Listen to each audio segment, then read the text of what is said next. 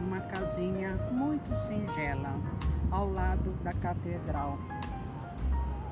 Aqui é a minha cidade linda e maravilhosa.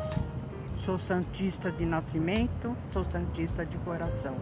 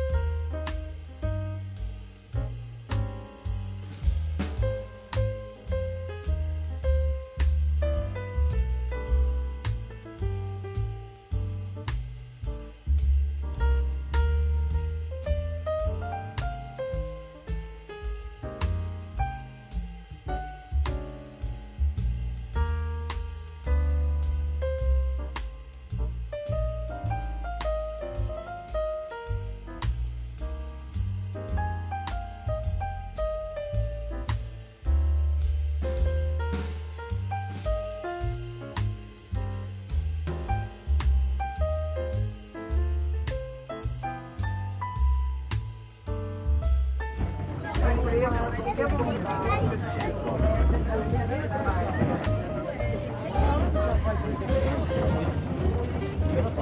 aí.